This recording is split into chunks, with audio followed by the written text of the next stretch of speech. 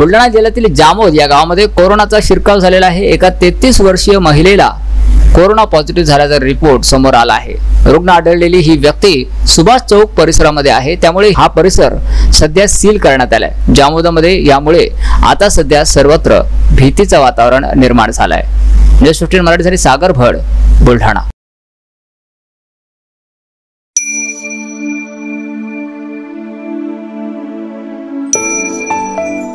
मानव चैतन्य को हिंसा से शांति की ओर ले जाने के लिए 9 से 15 अगस्त तक चलने वाला है वैश्विक ध्यान उत्सव, एकम विश्व शांति उत्सव।